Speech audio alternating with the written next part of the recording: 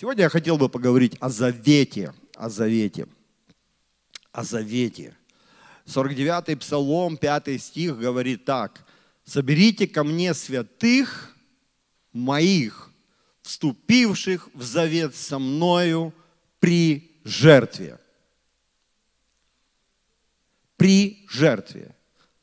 Господь говорит, соберите ко мне святых моих, которые вступили в завет со мною при жертве. Мы знаем, что однажды Господь придет. Аминь. И своих что? Заберет. Кто верит в восхищение церкви? Аллилуйя. Мы верим в второе пришествие Иисуса Христа и восхищение церкви. Мы верим, что мы будем восхищены. Аминь. Кто будет восхищен? Святые. Кто будет восхищен? В завете. В каком завете? Просто так завет? Или это завет, инициатором и автором которого является сам Бог? Аминь. Сам Бог является автором этого завета. Не мы ставим свои условия, ну, хотя нам хочется, конечно, свои условия везде поставить. Условия ставит Бог. Условия полностью и окончательно устанавливаются Богом.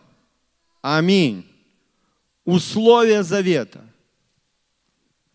Поймите, что всякие долговременные отношения, они устанавливаются только на основании завета. Это и в семье. Аминь. Смотрел какой-то фильм, а, и там просто, просто диалоги, просто фразы, и звучит такая фраза. Это твой друг? Он говорит, нет, это товарищ.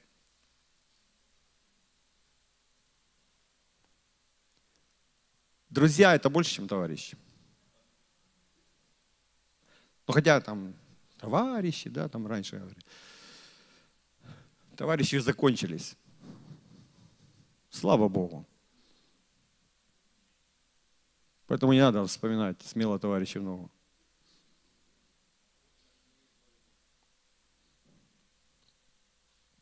Надо почитать тех, которые погибли, те, которые отдали жизни – но победобесием заниматься не надо.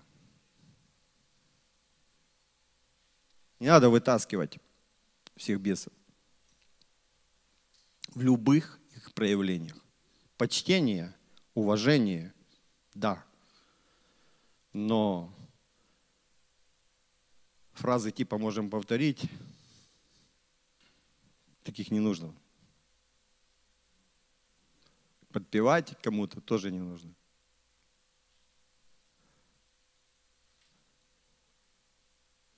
Сильные взаимоотношения, рассчитанные на долгое время, они все заключаются через завет. Аминь. Они все основываются на завете. Все основываются на завете. Поэтому Господь говорит – соберите ко мне святых моих. Наверняка будут не святые. Наверняка будут другие. Наверняка будут те, которые будут говорить, не твоим ли именем мы делали что-то. А он им скажет, что скажет? Я не знаю вас. Я не знаю вас. Наверняка будут такие люди, которые думали, что они знают Его, исходя из того, что они что-то знали о Нем, но они не знали Его. И Господь говорит, я не знаю вас.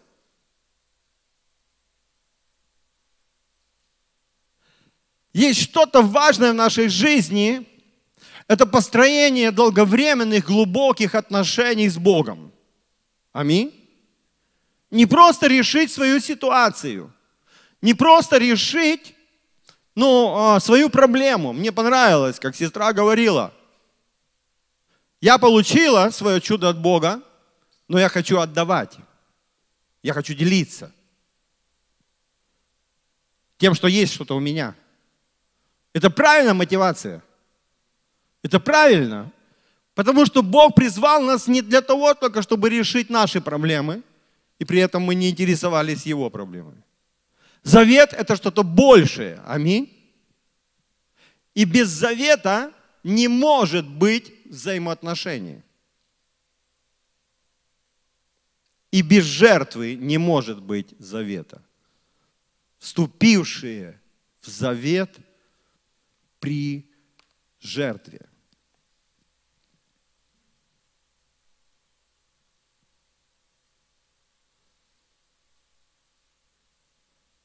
Книга Бытие, 15 глава.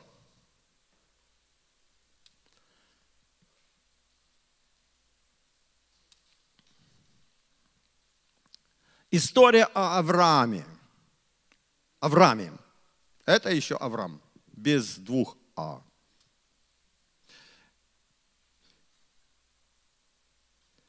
Седьмого стиха читаем. У вас есть Библия, да? Открыли все? Все смотрят?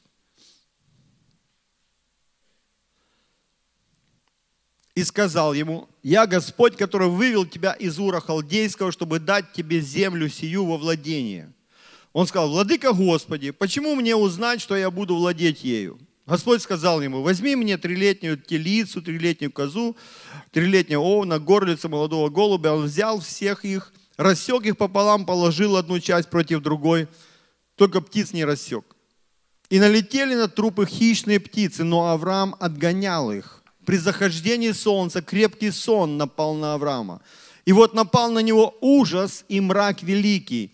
И сказал Господь Аврааму, знай, что потомки твои будут пришельцами в земле не своей, и поработят их, и будут угнетать их 400 лет. Но я произведу суд над народом, у которого они будут порабощения. После всего они выйдут с большим имуществом. А ты отойдешь к отцам твоим в мире и будешь погребен в старости доброй четвертом роде возвратятся они сюда, ибо мера беззакония Марею доселе еще не наполнилась. Когда зашло солнце, наступила тьма, вот дым как бы из печи и пламя огня прошли между рассеченными животными. В этот день заключил Господь завет с Авраамом, сказал потомству твоему, даю я землю сию. У Бога для тебя и для меня есть обещание. Аминь. Есть обещание. Есть обетование. Мы знаем, что Библия наполнена обетованиями. Мы знаем, что много обетований, иногда мы их цитируем, мы говорим, вот Бог мне обещал то, другое и третье. Аллилуйя, слава Богу. Слава Богу, что у Бога есть обещание для нас – но я верю, что а, они не приходят в нашу жизнь автоматически. Они появляются просто потому, что мне так хочется, чтобы это стало моим. Я его цитирую, я говорю и даже провозглашаю, что это мое, это для меня. Есть определенные э, условия прихода обетования Божьего в нашу жизнь. Есть определенные условия. И читая эту историю, мы замечаем, что Авраам, он не делал то, что он считал нужным. Он делал то, что ему сказал Бог. Аминь. Он делал точности то, что ему сказал Бог. Если бы Ной делал то, что он считает нужным, он никогда бы не построил ковчег. Ему в голову не пришло бы строить корабль, когда нет дождя, на горе. Никому из нас в голову такое бы не пришло. Но когда ты открыт для Бога, когда ты открыт для того, чтобы Бог говорил с тобой, у тебя есть отношения с Ним, Он будет тебе что-то говорить. Он будет говорить твою жизнь. И не всегда это будет нам нравиться. И не всегда мы будем, может быть, понимать это. Точно так же, как Ной не понимал, но он делал послушание. Он строил. Он верил, что Бог сказал. И Авраам, он сделал точно так же. Он взял этих животных, он положил их на жертвенник, еще не зная, что будет, еще не понимая, к чему это приведет.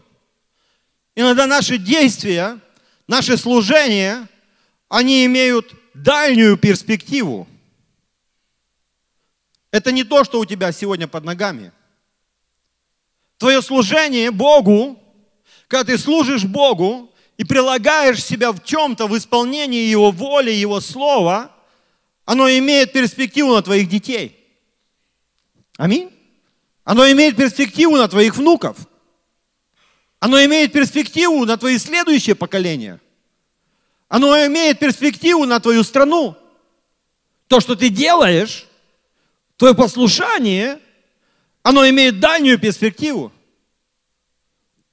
Авраам не просто назван отцом всех верующих. Он поверил, и он начал делать так. Аминь. И его обетование, оно не сразу пришло. Мы читаем, говорим, о, у него долго не было детей, у него была проблема, и вот он ходил, а Сара не верила, а он верил, и Бог его выводил, там показывал, и столько будет потомства твоего, и это было там столько времени, и вот тогда вот, короче, Бог назвал его. И мы думаем, что вот Бог, вот просто ему было жалко Авраама, и, и он решил его проблему. Нет. У Бога есть план. У Бога есть план, который выше нашего понимания. От тебя я произведу великий народ. И Бога был план произвести народ, чтобы пришел Спаситель. Аминь. Поэтому Авраам, первое, он был послушный. Аминь. Как он вошел в завет? Он сделал что-то, остальное сделал Бог. Аминь. Еще раз повторюсь о том, что условия и инициатива, они приходят от Бога. Аминь. А что мы делаем? Мы соглашаемся. Соглашаемся. Мы говорим, Господь, хорошо, я это сделаю. И вот в этой истории, смотрите, там не все так просто. Это не все так легко. Когда он, казалось бы, все сделал, умертвил этих животных, положил, тебе кажется, вот, все хорошо, я, я вот жертву принес на стадионе. Я вот в церковь пришел. Хотя мне не хотелось. Аллилуйя, Господь. Там налетели хищные птицы. Жертву нужно было защищать. Жертву нужно было охранять. Налетели хищные птицы. Господь, а нельзя было, ты же повелеваешь всем там. Ты вот повелел ворону кормить пророка, и он носил ему мясо. А тут какие-то хищные птицы налетели. Неужели нельзя было? Знаете, есть вещи, которые Бог допускает в нашей жизни для того, чтобы ты не ослабел. Для того, чтобы ты понимал, есть, это наша ответственность. Защищать жертву. Если хочешь вступить в настоящий завет с Богом, Тебе придется защищать свое призвание, тебе придется защищать свою веру, тебе придется защищать свое упование, тебе придется защищать от хищных птиц. Кто такие хищные птицы? Это разные мысли, да? Кто-то сказал, над моей головой летает много птиц, но я не всем позволяю свить у меня гнездо над головой. Они летают, пусть и летают. Но я не позволю сомнению клевать мою жертву. Я не позволю страху овладеть мною. Это наше решение. Аминь. Хищные птицы, они могут летать. Они налетели сразу же. У кого было там, вот, э, пришел к Богу, покаялся, и кое-что стало хуже. Хищные птицы. То тебя все любили, да? Ты так, все было хорошо, как-то так все. И тут сразу же ты слышишь какие-то голоса. Не, люди, они как люди, ну, ну их любить надо, да, проповедовать им. Ну просто иногда они как хищные птицы. Ой, как хищные птицы, да? Налетели сразу, там, сектант, квартиру заберут, это все, там, деньги носишь, там, ай-яй-яй-яй-яй, и это самое, а там эти, да, на кладбище на гробки не пойдешь, что ж ты не пришел на гробки, ты вообще не верующий, что то за вера такая, что не разрешает на гробки ходить. Эта вера разрешает, делай все, что хочешь. Так главное, по воле Божьей должно быть. Бог в храме. Аминь. Могилы своих близких мы уберем в другое время. А носить еду туда, выпивку и устраивать застолье мы не будем. Потому что этого Писания нет. Это язычество. Это хищные птицы, они сразу же начнут тебе рассказывать. Правильная вера, неправильная вера. Хищные птицы, они сразу. Тебе нужно защищать. И тебе нужно было их отгонять. Тебе нужно всячески было бороться. Аминь. И кто-то сейчас борется. Ты победишь. Аминь. Ты победишь. Твоя вера позволит тебе быть победителем. Ты победишь. И они там налетели. И они там кружились. И они там что-то хотели съесть. Твое твое упование, твою веру, твою жертву.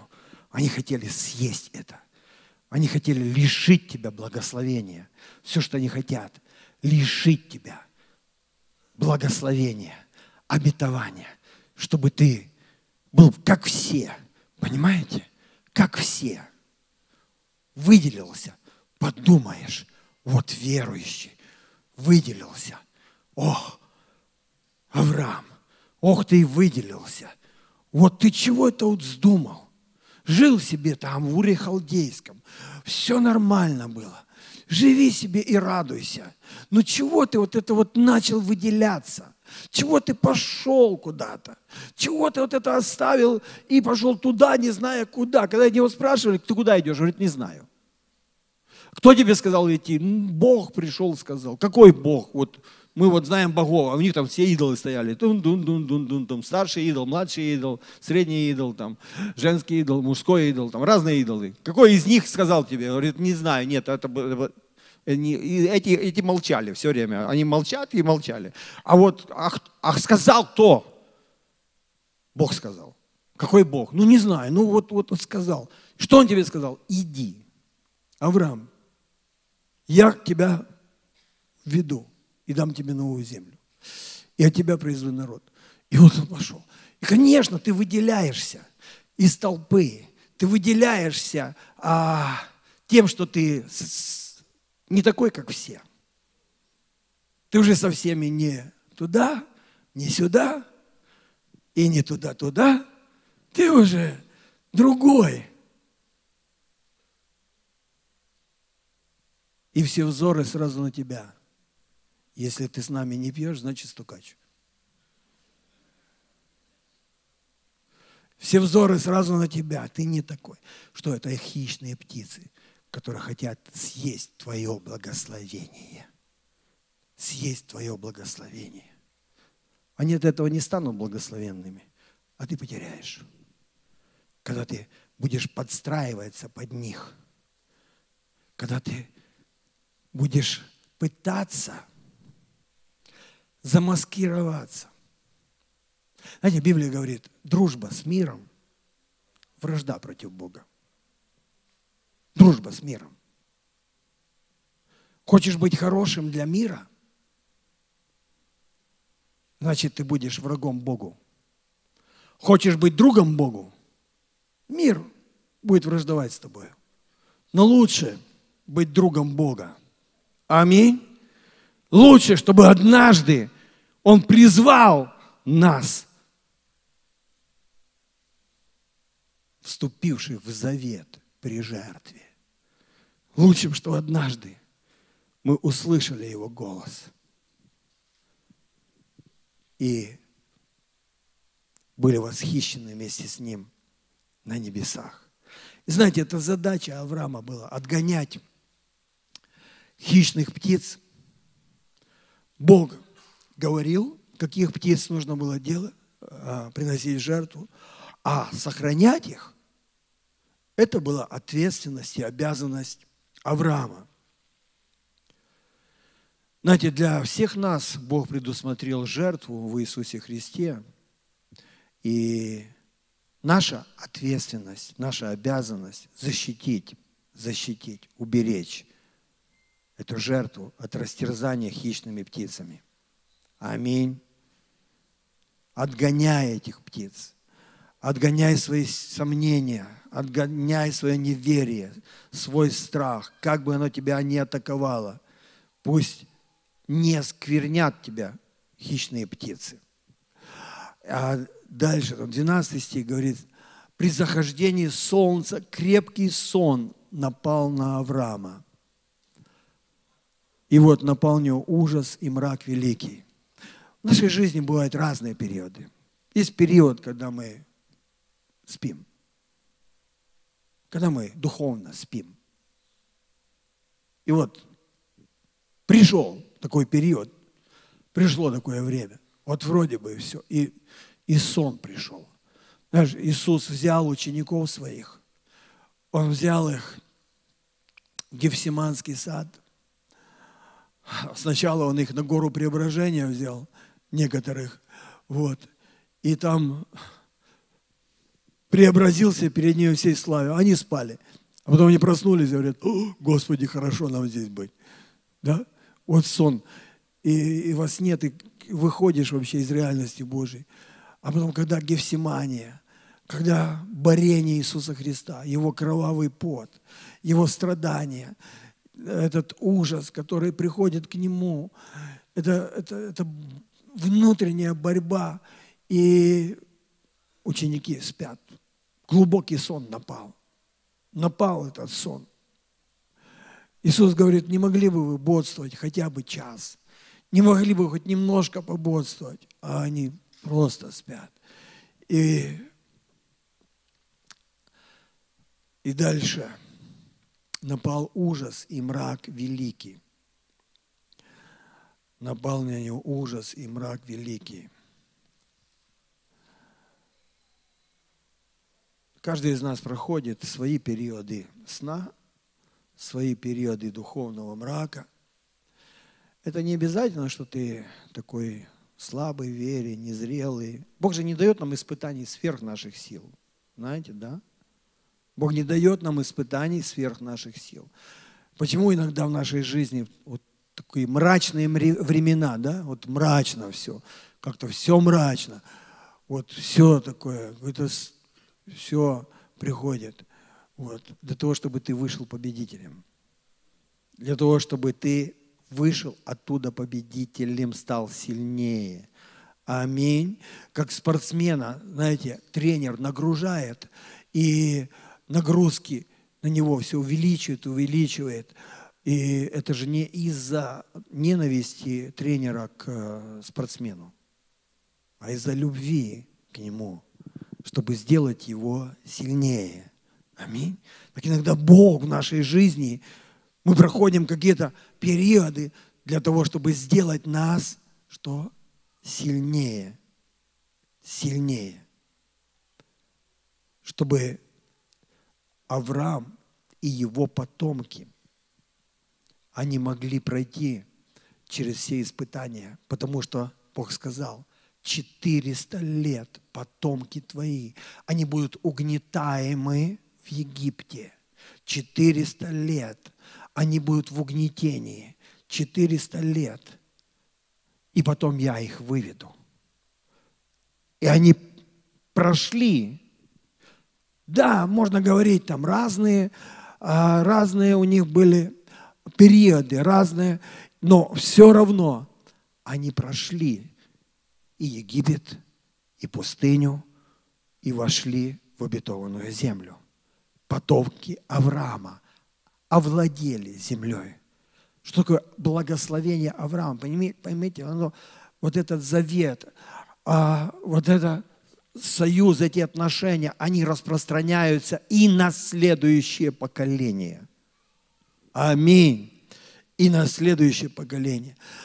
А, и когда зашло солнце, наступила тьма, и вот дым как бы из печи, и пламя огня прошли между рассеченными животными.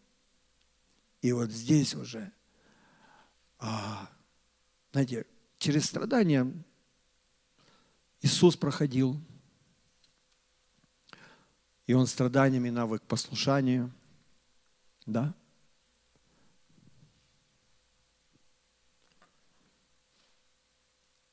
Знаете, не страдание определяет нашу судьбу – а наше поведение во время страданий будет определять нашу судьбу.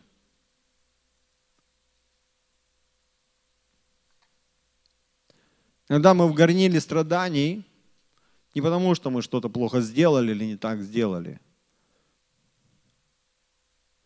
Для того, чтобы получилось чистое золото, его нужно плавить в пламени, дабы испытанная вера ваша оказалась чище. Кто сказал, что когда плавят металл, его нагревают до такой температуры, и когда все примеси, они поднимаются, их снимают. Их снимают до тех пор, пока в этом металле не отобразится лицо плавильщика. Плавильщик видит свое лицо – это очень пророчески. Иногда в нашу жизнь приходит переплавка и горнило страданий для того, чтобы доколе отобразиться в нас Христос. Аминь. Он должен что-то увидеть в нас. А мы думаем, что «Ой, Боже, избавь меня!» Нам хочется легких путей, нам хочется все обойти, приспособиться ко всем, как-то а, под всех подстроиться, под то, под это, под каждую ситуацию, тут избежать, тут не болит, там не болит, вот все, все, все хорошо, там я хороший, на работе хороший, везде я хороший, от всего ушел. Но в результате ты становишься просто слабым. А когда ты принимаешь вызов, ты говоришь, я верю, Искупитель мой жив, я верю, что я пройду через это, я верю, что это для меня испытание моей веры, и я верю, что Господь, Он увидит меня на том берегу. Аминь. Я стану сильнее. Драгоценные металлы не могут быть очищены без сильного нагрева. Без сильного нагрева. И вот, во всей этой атмосфере хищные птицы, мрак, вдруг. Пламя огня, пламя огня.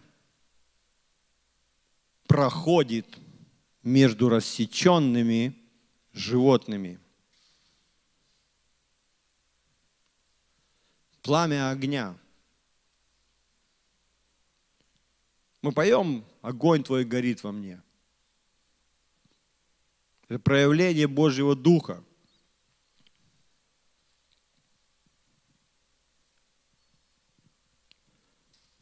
И в момент глубочайшей тьмы Господь в явлении пламени вступает в завет с Авраамом. Он прошел между рассеченными животными, и тем самым он вступил в завет.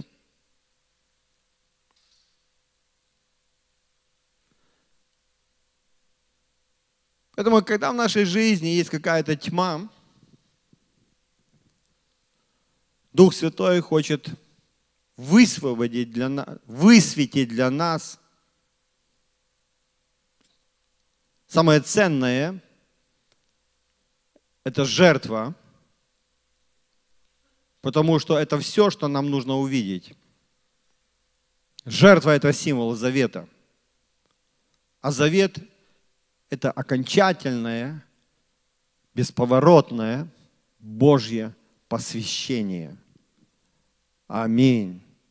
Бог посвятил себя нам. Мы можем проходить самые разные времена.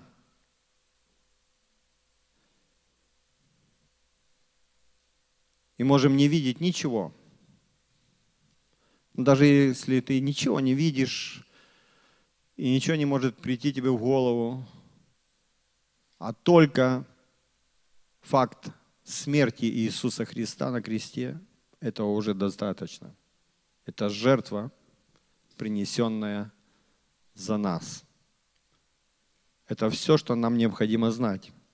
Потому что в этом заключено все.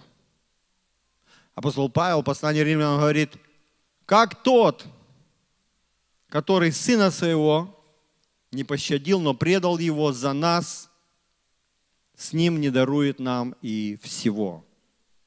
И когда у тебя есть только надежда и упование на Него, и когда ты, у тебя есть только то, что Иисус умер за тебя, этого больше, чем достаточно. Знание того, что Иисус умер за тебя, понимание жертвы Иисуса, это больше, чем достаточно – все заключено в Его завете через жертвенную смерть нашего Господа Иисуса Христа. Вот так Господь и Авраам вступили в завет.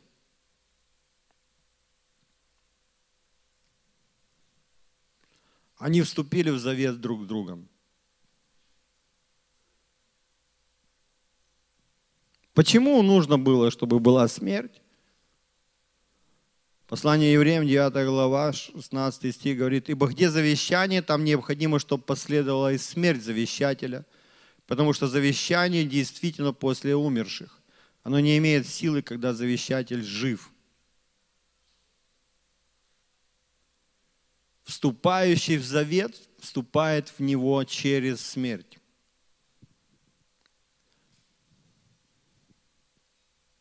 Невозможно быть в завете и оставаться живым. Невозможно быть в завете с Богом и жить для себя.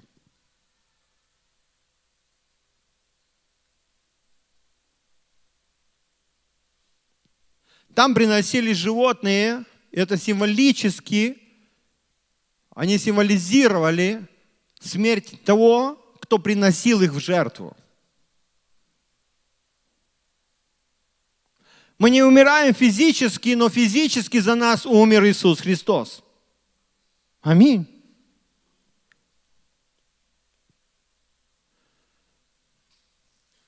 И когда мы приходим к вечере Господней, то мы говорим, что мы смерть Господню возвещаем. Аминь. Доколе Он придет. Что значит мы смерть Господню возвещаем? Он умер вместо меня.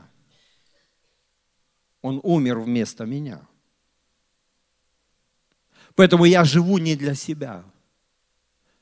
Я живу для Него. Когда беру хлеб и беру вино, я возвещаю Его смерть. И я говорю, я живу не для себя. Я умер вместе с Ним.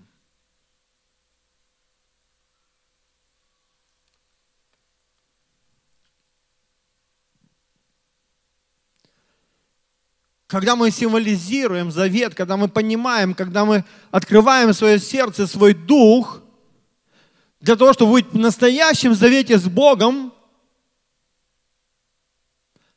тем самым мы отказываемся от всяких прав на себя.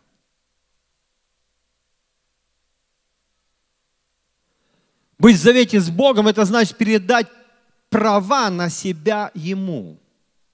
Аминь. Быть в завете с Богом это не значит, что я подключился к какому-то э, какому хорошему контракту, который мне будет все давать. И я буду все получать. Настоящее понимание завета в том, что я отказываюсь от своих прав на самого себя и пред, право я передаю Богу. Аминь. Право владеть моей жизнью принадлежит Богу. Аминь. Право на мое имущество принадлежит Богу. Все его. Тут кто-то рассказывал недавно, да? Это брат Олег рассказывал, да? Про финансы, когда он говорил. Они же не наши. Все Богу. Когда я в завете с Ним, это значит, что мое время, не я, не мое право Богу. Аллилуйя. Моя жизнь, она принадлежит Ему. Когда каждая сторона проходит между частями жертвы, как бы в сущности – они говорят, если необходимо, я умру ради тебя. С этого времени твои интересы, твои интересы берут верх над моими собственными.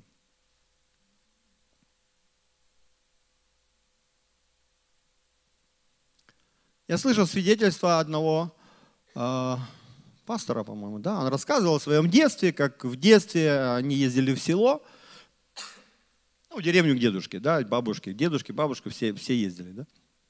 Вот.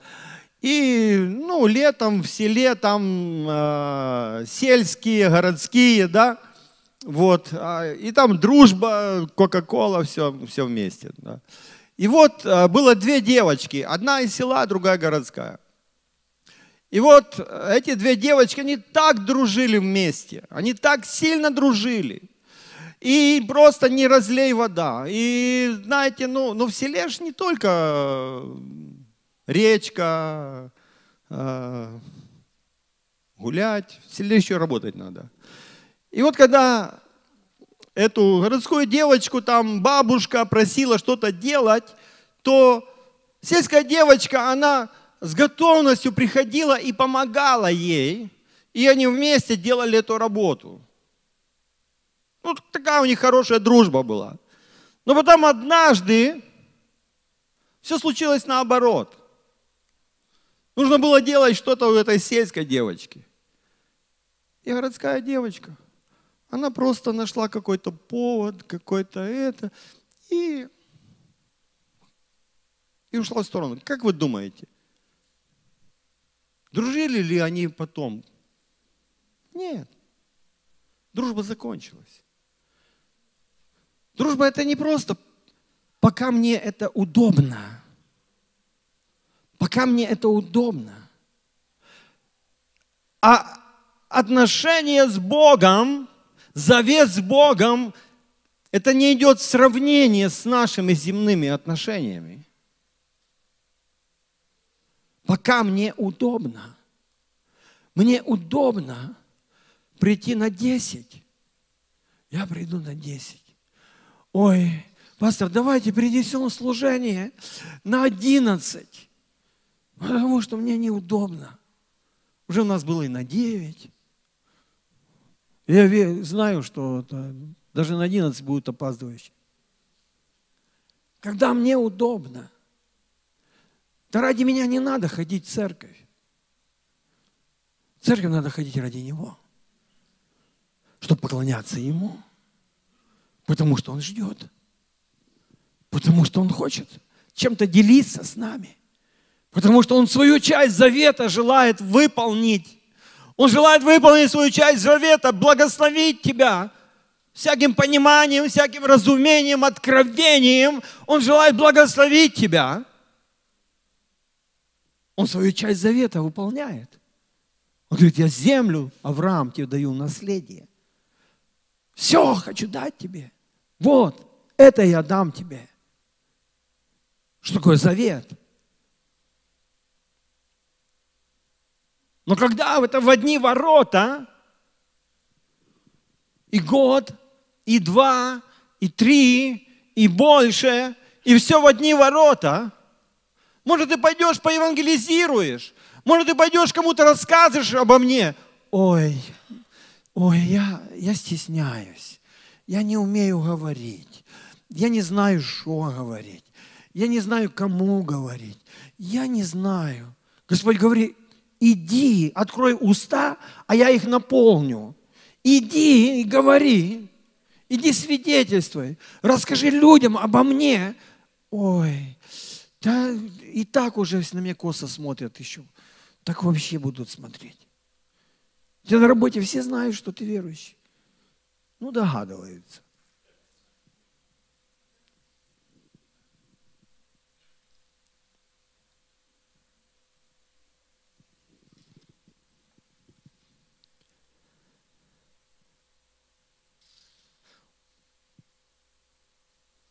Бог стучит и говорит, может, ты уже служить мне начнешь. Может, уже пора взять ответственность. Может, уже пора выйти за пределы. Может, уже нужно что-то взять, какую-то ответственность идти. Ой, да, да вот сидят на первом ряду там. Вот, хватит их. Вот у служителей. Не, я, я человек не речистый, я человек это. Я служу молитвою. Пять минут в день. Если ты хочешь служить молитвой, он третий этаж, молитвенная комната, приходи на сутки и молись. Служи молитвою. Если по-настоящему хочешь служить молитвой. Хотя бы час. Я тут некоторых вот пытался заставить хотя бы час молиться.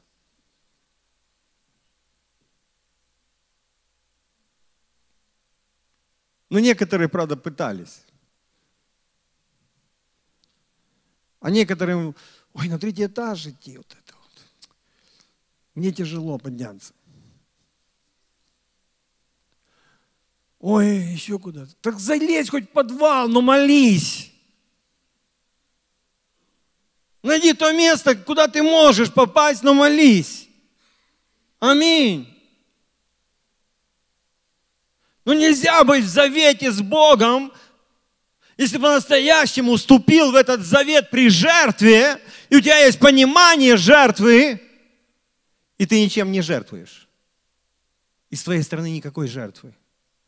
Никакой жертвы. Жертва, она была рассечена на две стороны. И наша часть жертвы.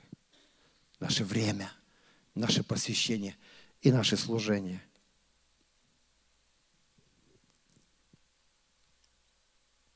Через какое-то время Авраам стал Авраамом, и Господь сказал, ну а теперь сына своего принеси в жертву.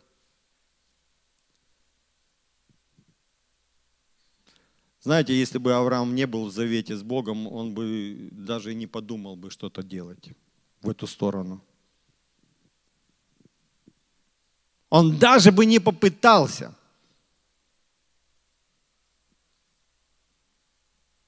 Но он уже был в завете. И в последний момент Бог вмешался и удержал его.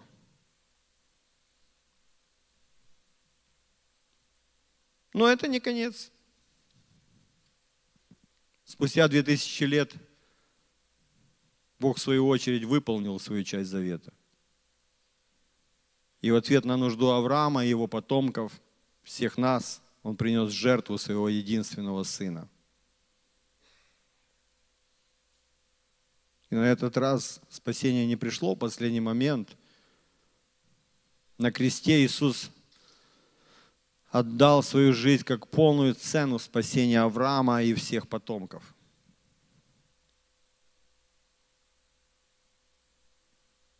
Это было следствием того посвящения, которое Бог и Авраам заключили друг с другом в ту роковую ночь. когда они прошли между двумя частями жертвы. И вся последующая история, она была определена в качестве следствия их завета. Давайте зададим себе вопрос. Мое посвящение и моя часть завета в порядке? Для кого я живу? Апостол Павел в втором послании к Коринфянам, он дает нам ответ на этот вопрос. 5.15. А Христос за всех умер, чтобы живущие уже не для себя жили, но для умершего за них и воскресшего. Это ответ для нас – ответ на этот вопрос, если мы должны сами себе задавать какие-то честные вопросы. Аминь. И найти честный ответ.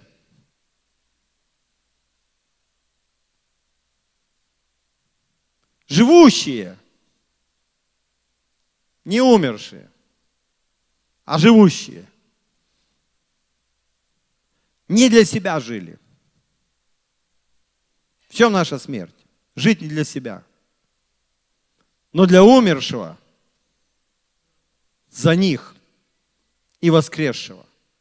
Поэтому сегодня, дорогие братья и сестры, я снова повторю, это 49-й Псалом, 5 стих, где Господь говорит, соберите ко мне святых моих, соберите ко мне святых моих, вступивших в завет при жертве. Не хотелось бы, чтобы, знаете, первое воскресенье месяца, каждый раз мы приходим к причастию, мы берем хлеб, частичку хлеба, мы берем его, вздыхаем, съедаем, потом выпиваем вино, и ничего не меняется. И все остается таким, как было до этого. Это жертва. Аминь. Жертва. Смерть Господню возвещаете, доколе Он придет. Всякий раз, когда вы едите хлеб сей и пьете чашу сию, мы смерть Господню возвещаем, доколе Он придет. Аминь. Мы возвещаем о том, что я в завете с Ним, что я вступил с Ним в завет при жертве, при Его жертве. Я в завете с Ним.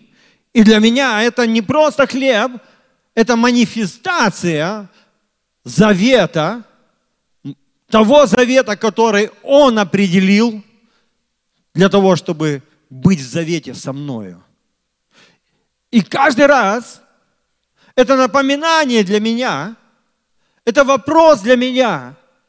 Как с моей частью, как с моим посвящением, как с моей частью завета, что с ним, как с моей стороны, что я делаю или что я не делаю.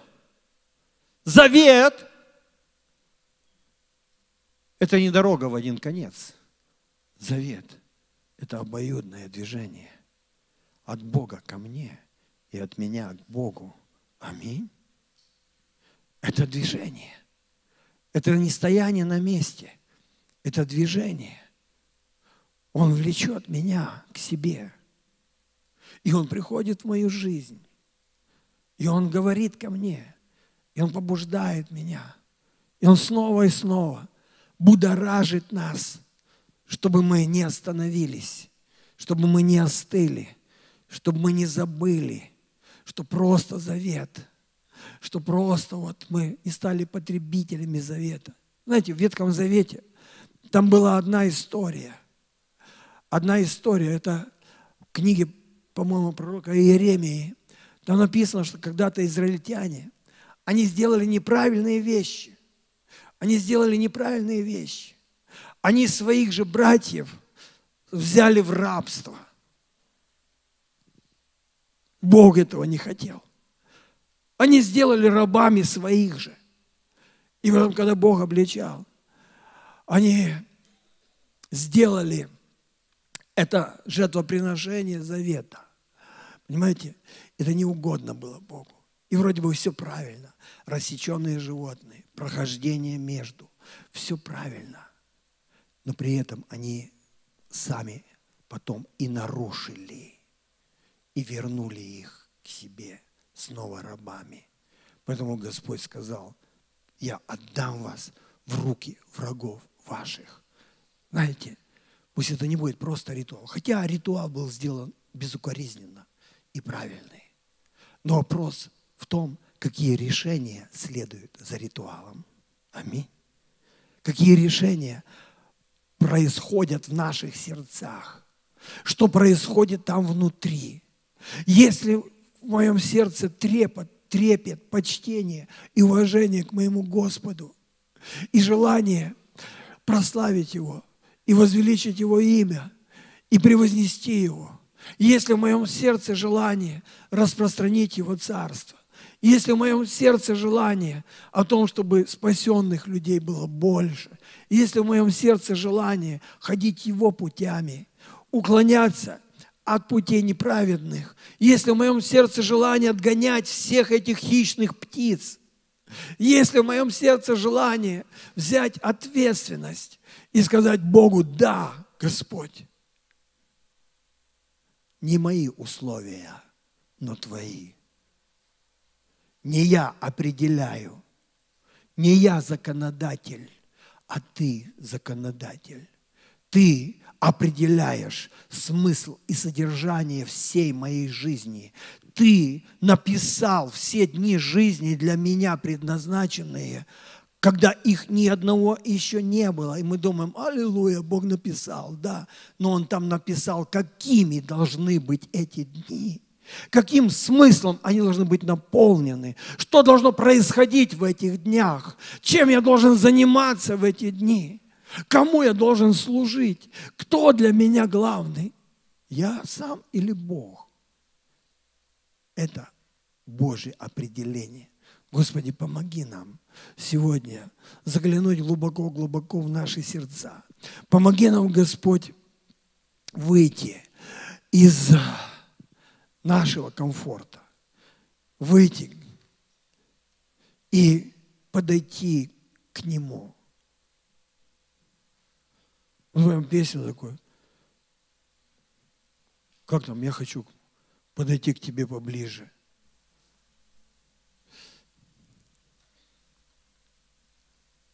А где остальные? Нету никого? Вам приглашение надо? Выходите. Не, все, выходите, выходите. Необычно. Хорошая песня. Подойди поближе. Раны от гвоздей поцеловать.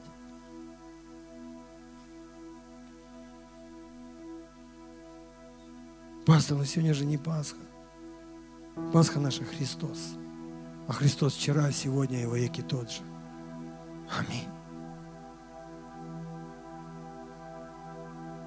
Христа нужно чтить каждый день своей жизни, не только раз в году. Его нужно почитать каждое мгновение своей жизни, когда ты утром встаешь и вечером ложишься спать. Когда ты среди суетности дня останавливаешься на мгновение и говоришь, Господи, Ты принес себя в жертву живую. Ты принес себя для того, чтобы я мог сегодня быть в завете с Тобой. Братья, придите, пожалуйста, можете уже взять причастие. Аллилуйя.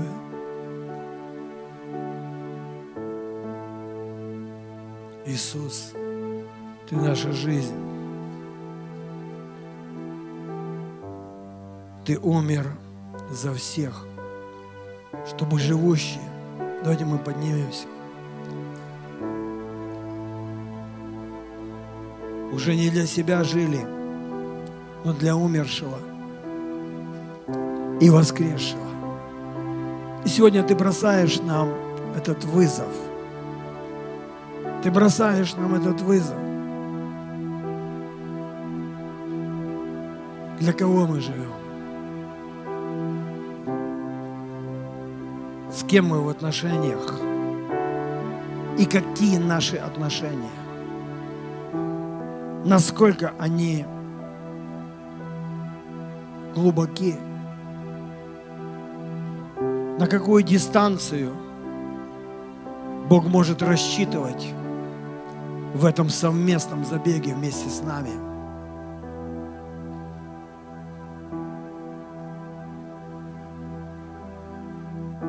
Бегущие на ресталище, они не просто бегут и бьют воздух – но не хотят получить награду. Аминь. Мы не просто бьем воздух. Мы не просто что-то изображаем. Но мы хотим вместе с Ним в этом завете через жертву Иисуса прорваться –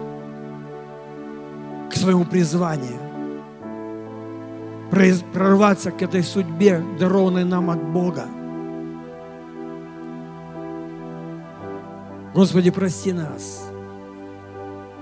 Прости, Господь, за суету. Прости, что не отгоняли этих птиц, позволяли им клевать,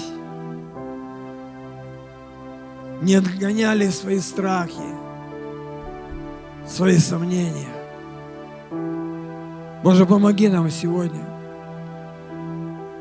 посмотреть снова на Тебя. Мы собраны здесь во имя Твое. Господь, и нам хочется, чтобы Ты назвал нас своими, и Ты назвал нас святыми, которые вступили в завет при жертве. Дай нам каждому пересмотреть свое посвящение, пересмотреть свое отношение к Тебе. Благослови, Господь. Ты умер за всех. Ты умер за каждого человека. Боже, дай свой мир, дай свой покой, свою надежду. Аллилуйя. Может, кто-то есть, кто хотел бы сегодня покаяться, если, если ты еще никогда не молился Богу молитвой покаяния и не просил, чтобы Он простил твои грехи. Бог здесь, на этом месте, и Он слышит твою молитву. Может быть, ты отступил от Бога.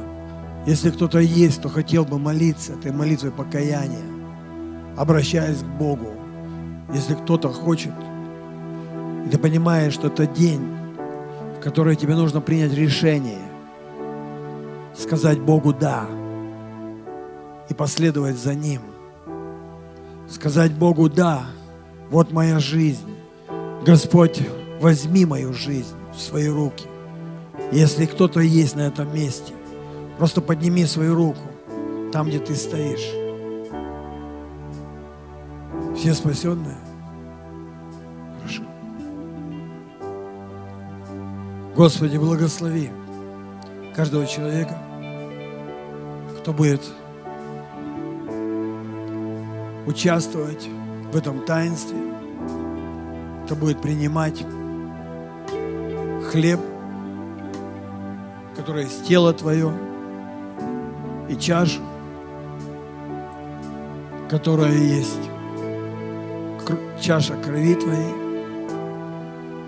за нас проливаемая.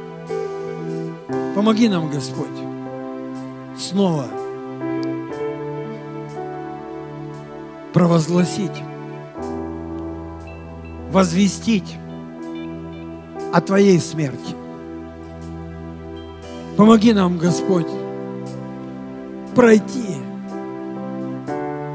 через эту жертву. Помоги нам, Господь, восстановить свой завет с Тобою.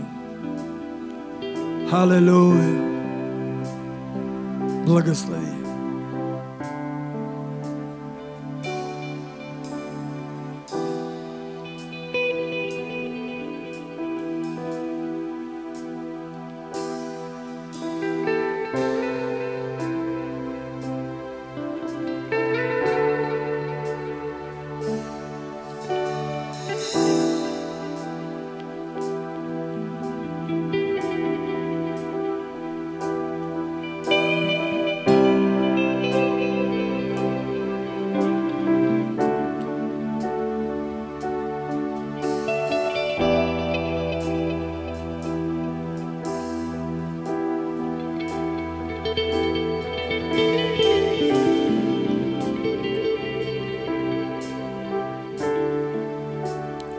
Кровь Твоя.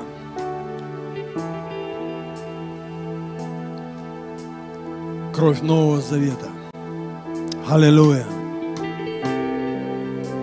Благодарим Тебя, Боже, за эту привилегию и честь быть в завете с Тобой.